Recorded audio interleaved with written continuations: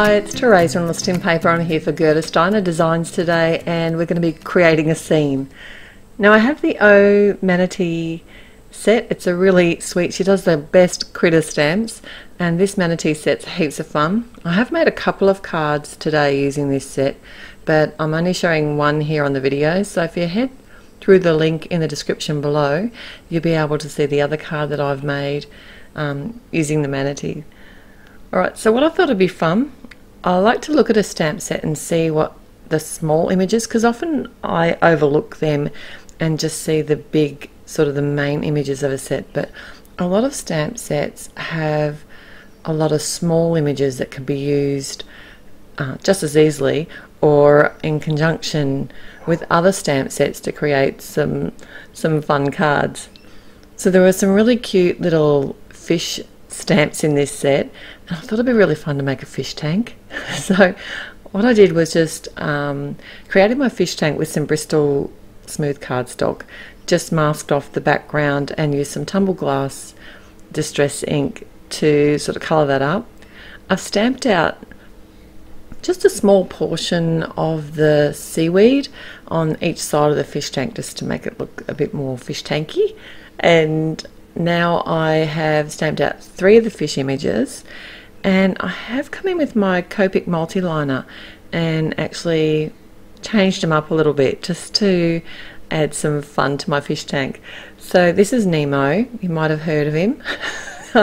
He's an anemone, anemone fish, uh, clownfish, depending on what you want to call it. We have lots of them around here where I live on the coral reefs and they are just beautiful.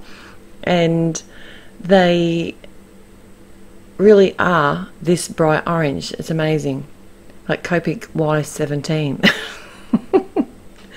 anyway, so I did colour up my fish in some funky colours, added some stripes to my tiger fish, and then what I like to do is come in with my grey markers. So this is the T0.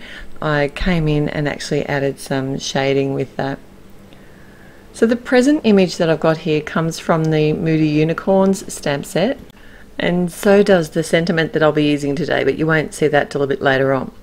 I had a bit of a sentiment sort of um, what do you call it crisis today. I knew which sentiment I wanted to use I just really struggled with how I was going to incorporate it into the card. Alright so I am outlining the back of my images because I did fussy cut them right up to the line. I thought it'd be fun just to add some bubbles to one of the little fish that's swimming and then I figured it was going to be easier. I don't really colour with my Copics onto any other sort of ink. I've seen other people do it but I'd have a tendency to either use my Copics and then add my other colours afterwards. So that's why I came in here with my Prismacolor pencils to add the colouring to the seaweed and of course to the bubbles. So now I'm going to actually adhere my little fish into place. I've just got some dotted adhesive and this is quite forgiving this adhesive so you have got the opportunity to move them around a little bit if you're not quite happy with the placement of your images. I find that it sticks well though after it's sort of settled in but initially you can actually move things around if you're not really happy. Some tapes are very unforgiving uh, especially on like a distress ink background. You don't want to rip that because they are quite a wet um, a wet ink, the distress inks. Now I've just got this little um, Nemo's actually the one giving the present today. Isn't that cute? Alright, so I've added some really thin Be Creative tape to the bottom of my fish tank and this is how I'm going to hold my piece of acetate in front. I just wanted it to look shiny like it's glass and then I've got some some tape behind a piece of bark. This is um, some cherry wood I think it is and I've just cut a really thin piece of that um, to make the base of my fish tank and I used the same cardstock or the bark cardstock to cut some legs for my fish tank which I'm just going to adhere with some Be Creative tape as well because it's a nice strong tape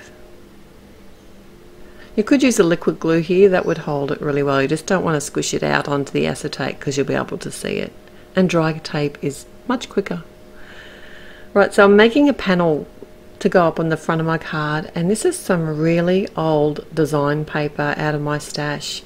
I just wanted something to look like it was kind of like a retro wallpaper and this is from a um, My Mind's Eye paper pad called Gertie and I think I was hoarding this because it's so cute. It's some really pretty patterns in this and I've hoarded it so much that you can't even get it anymore. I've got some if anyone wants any though. And this is the first time I've used, I can't remember the last time I used my corner chomper.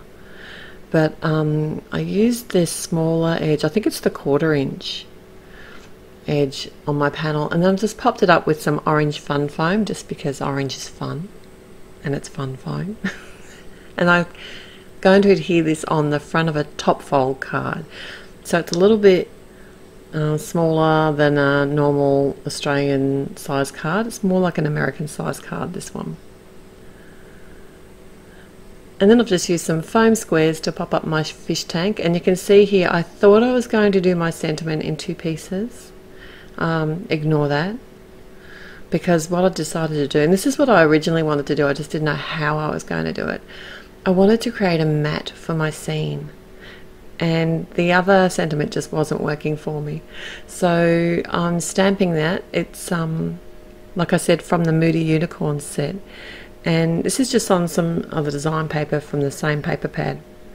And I'm cutting it on kind of an angle to make it look like not three dimensional, but um, that it fits into the room scene that I created.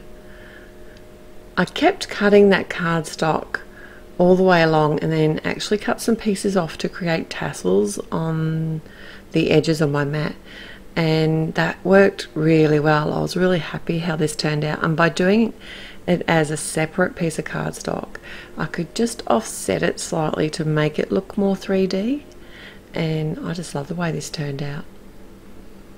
So I did that on both sides of the mat. And I thought the stripes worked really well for a matte kind of effect as well. and I wanted something that you could see the sentiment on after I'd stamped it. If it was too busy, you wouldn't have been able to see it. So I just popped my little mat up on the front of my card and that's my finished card for today. Thanks for joining me. Don't forget to head to the blog where you'll see the other card I've made using this Omanity set. Look forward to seeing you there. Till next time, happy paper crafting. Bye.